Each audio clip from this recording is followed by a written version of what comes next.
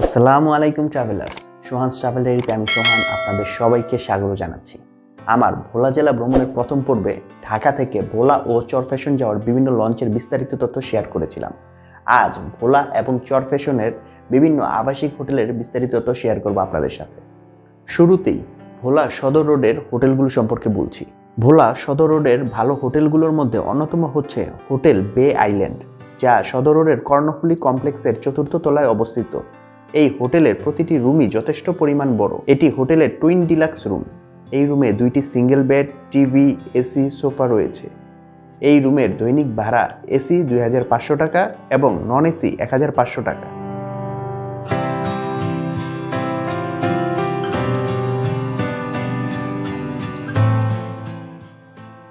এটি family deluxe room.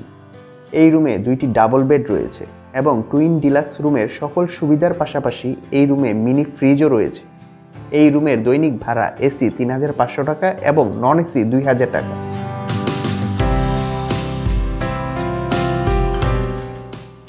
তাছাড়াও অন্যান্য রুমের ভাড়ার তথ্য এখানে রয়েছে।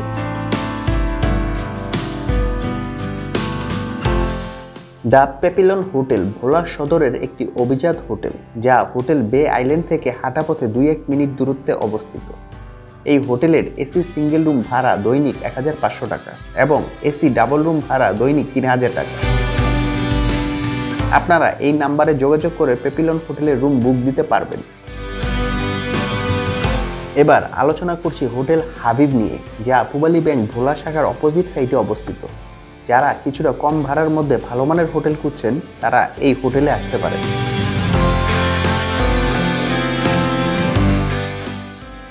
এটি ডাবল বেডের রুম। রুমটিতে যথেষ্ট পরিমাণ স্পেস রয়েছে।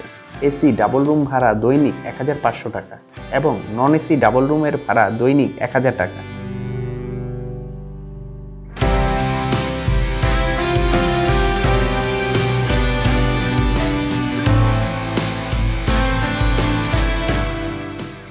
এটি সিঙ্গেল রুম। এসি সিঙ্গেল রুমের ভাড়া দৈনিক এক হাজার দুইশো টাকা এবং নন এসি সিঙ্গেল রুমের ভাড়া দৈনিক আটশো টাকা। হোটেলের এই নাম্বারে যোগাযোগ করে আপনারা রুম বুক করতে পারবেন।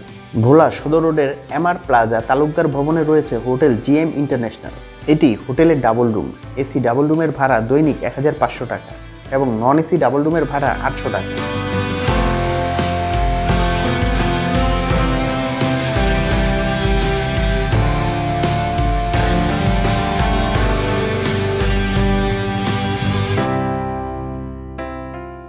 এটি এই হোটেলের সিঙ্গেল রুম। এই সিঙ্গেল রুমের ভাড়া দৈনিক ছয়শো টাকা।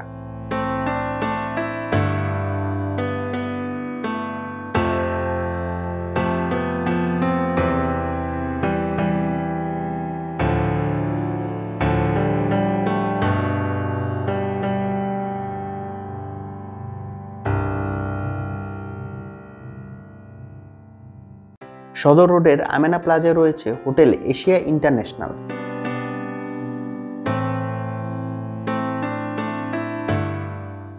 এটি এই হোটেলে ডাবল রুম। এই রুমে আলো বাতাস পাস হওয়ার জন্য একটি জানালা রয়েছে। এই নন এসি রুমের ভাড়া দৈনিক এক হাজার চারশো টাকা।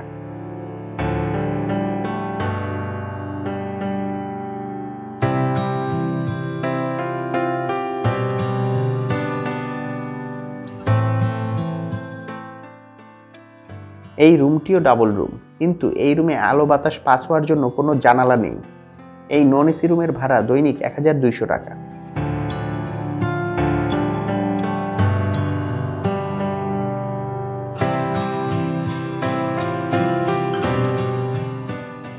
আর এসি ডাবল রুমের ভাড়া দৈনিক তিন হাজার পাঁচশো টাকা এবং সিঙ্গেল নন এসি রুমের ভাড়া দৈনিক সাতশো থেকে নয়শো টাকা।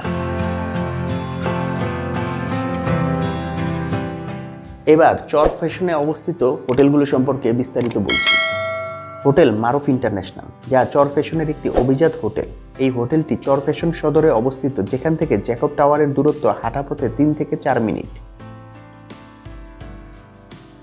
রিসিপশন থেকে শুরু করে হোটেলের প্রতিটি কোনায় রয়েছে আভিজাত্যের ছোঁয়া।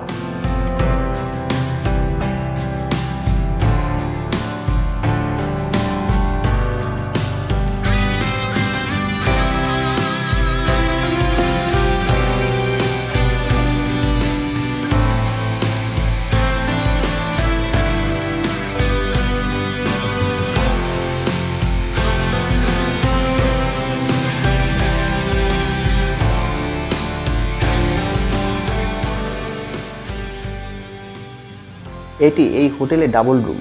এই এসি ডাবল রুমের ভাড়া দৈনিক দুই হাজার পাঁচশো টাকা, নন এসি ডাবল রুমের ভাড়া এক হাজার পাঁচশো টাকা এবং সিঙ্গেল রুমের ভাড়া দৈনিক এক হাজার পাঁচশো থেকে এক হাজার সাতশো টাকা।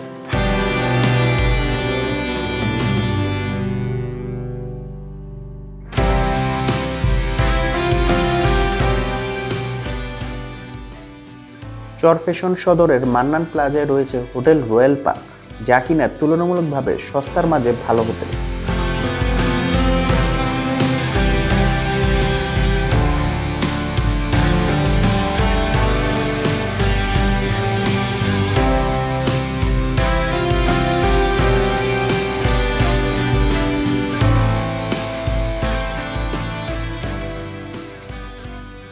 এই ডাবল বেডের নন এসি রুমের ভাড়া পড়বে দৈনিক আটশো টাকা এবং সিঙ্গেল রুমের ভাড়া আনুমানিক দৈনিক চারশো থেকে ছয়শো টাকা।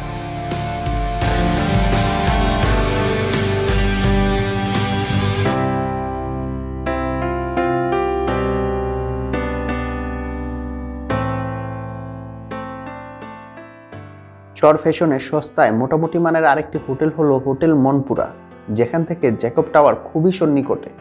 এমনকি হোটেল থেকে জ্যাকব টাওয়ার এবং পৌরসভার পার্ক দেখতে পাবেন। এই হোটেল সিঙ্গেল রুম ছয়শো থেকে আটশো টাকা এবং ডাবল রুম এক হাজার থেকে এক হাজার দুইশো টাকা। সবশেষে বলব, হোটেলের ভাড়া যাই নির্ধারিত থাকুক না কেন, আপনারা যদি সঠিকভাবে দর কষাকষি করতে পারেন, তাহলে কিন্তু অনেক কমে হোটেলের রুম পেতে পারেন। আপনাদেরকে অনেক অনেক ধন্যবাদ আমার পুরো ভিডিওটি দেখার জন্য। চেষ্টা করেছি ভোলা এবং চর ফ্যাশনের সর্বাধিক হোটেলের তথ্যগুলো আপনাদের মাঝে শেয়ার করার। আশা করি আমার এই ভিডিওটি আপনাদের উপকারে আসবে। আজ এই পর্যন্তই, ভালো থাকবেন সবাই, আল্লাহ হাফিজ।